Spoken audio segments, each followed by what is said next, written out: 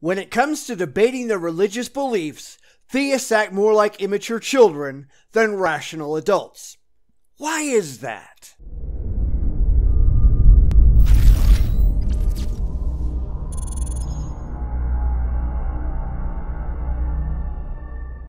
We're getting close to the end of the series presented by Evidential University about how to debate atheists.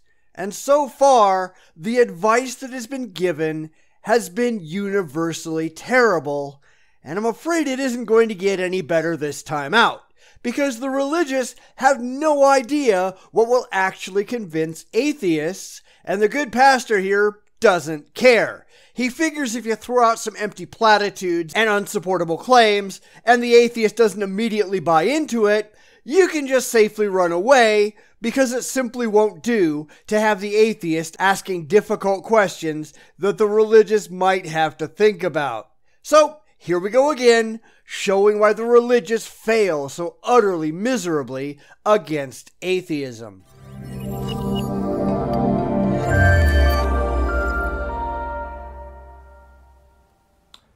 When you debate with the atheist brigade or atheists, never, never, never said I'm going to prove God. Because once they said the word proof, proof is a mathematical concept. To him or her, prove me 2 plus 2 is 4. In other words, don't pretend that you have any rational reason to believe the things that you do, because we all know that you don't. You should, but you don't. So when you make these ridiculous claims about your imaginary friend, how do you expect to be taken seriously when you can't back up anything that you have to say? This is a massive problem that these people simply refuse to recognize. So once he says, I'm going to prove God, right? He's thinking about, you know, you're going to take him to a laboratory somewhere, right? And then do some experiment, and boom, God appears. No, I don't expect that necessarily. It would be nice, but you have to have something more than, I believe blindly in my imaginary friend, and that's all I can do.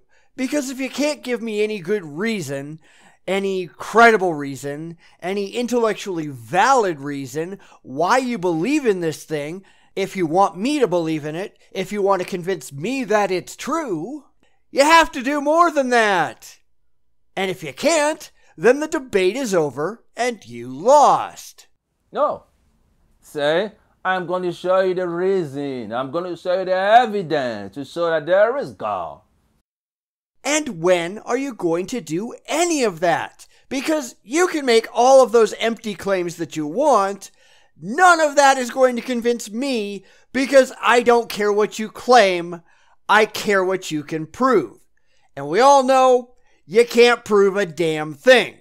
Well, you can prove that your standards of proof are pathetically awful, that your reasons are all fallacious, and that your evidence is laughably non existent.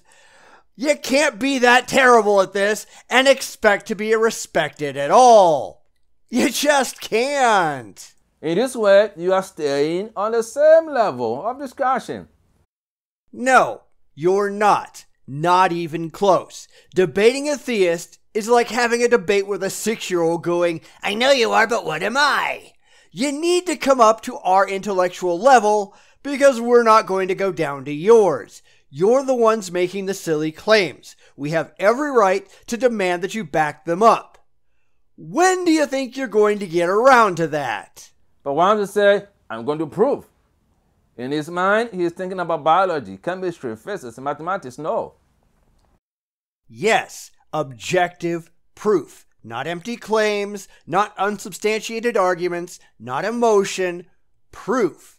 And that's what you need to pony up before any of us are going to take you seriously. And here's the reality, pal, whether you like it or not. If you can't provide any credible reasons to believe these things, then you have no business whatsoever believing it yourself. I don't care how it makes you feel. I care if you can justify your position with intellectual, objectively testable, evidentially credible reasons, and when you admit that you can't, you just make yourself look like an idiot. Is that what you want? Because that's what you're doing. God as is. Says who? How do you know? Where is your evidence? What led you to that conclusion? Because those are all questions that you have no worthwhile answers to. Just because you wish it was true doesn't make it true. This is where the religious start to look like complete asses because they don't care if they're right. They care if they feel good. They care if they can get comfort from entirely unsupported beliefs. And then they rationalize their way into believing that they shouldn't demand proof for the things that they believe because it gets downright difficult to prove that this imaginary friend of theirs is real in any way or has any of the arbitrary characteristics they've assigned to it. And when we point out how ridiculous that is, they act like we're the crazy ones. Newsflash for you, Tinkerbell. We're not. And there are so many ways that you can show that God exists. Name one. Just one. Go ahead. Because lots of theists claim that, but they're really, really bad at backing it up. So go ahead, Pastor. Let's see your proof. St. Augustine. That's not proof. That's a bunch of irrational arguments that have been completely dismantled. Try again. Anselm. Again, claims. Not evidence, not proof, claims that have been done away with centuries ago. Aquinas. Likewise, nothing there. You don't actually know what proof is, do you? Professor Plantinga. Who is a complete joke, just like every single other religious apologist out there.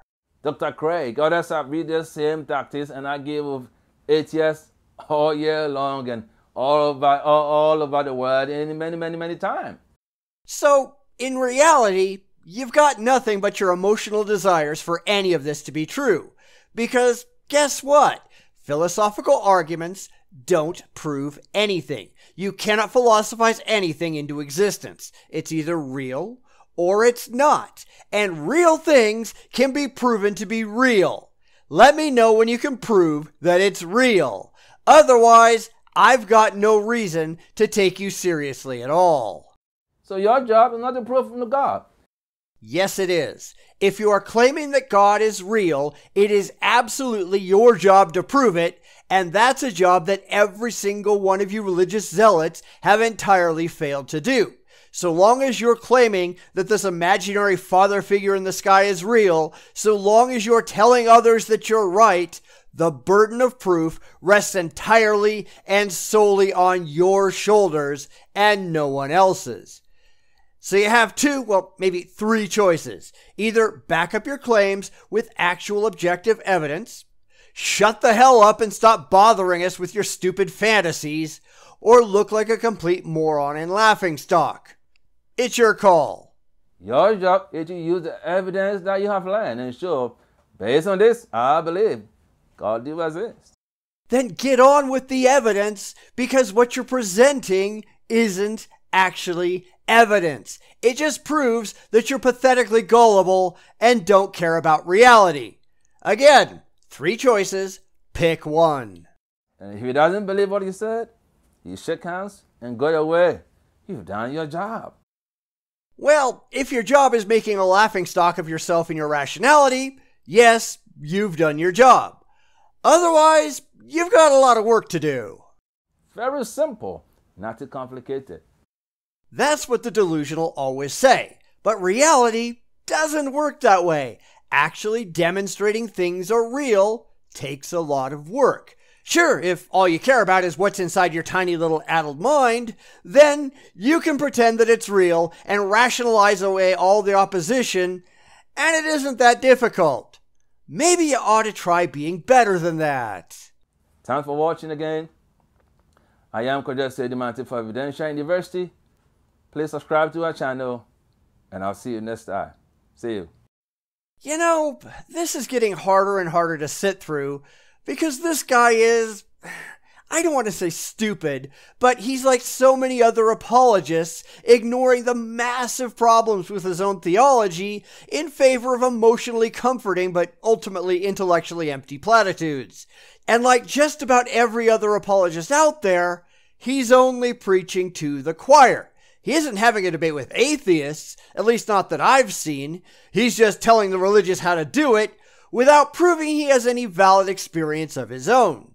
But he's only too happy to explain that the religious don't have to have any evidence, they don't have to have any valid reasoning, and if they get in over their heads, which they invariably will, then they can just walk away, having failed completely in their mission to convert the heathens, and not feel bad about it. But there's a problem here. Matthew 28 says, Go and make disciples of all men. It doesn't say, Eh, I tried, and give up. But that's really where so many of the apologists I look at fail, because they've got nothing worthwhile to say. They pretend they do, they pretend they have evidence and logic and reason, but when it comes right down to it, all they have is emotion. Their claims fail miserably against the non religious who pretty much always know a lot more about the religion and about reality itself than the religious do.